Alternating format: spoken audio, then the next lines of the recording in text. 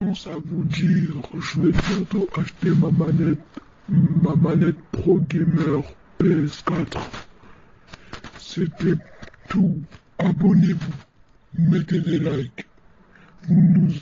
si vous voulez pas vous abonner, vous allez voir le gameplay et vous allez vous abonner tout de suite. Vers 18h, je suis en live. Venez en masse. C'était. C'était le chétan. Au revoir. Non mais je rigole.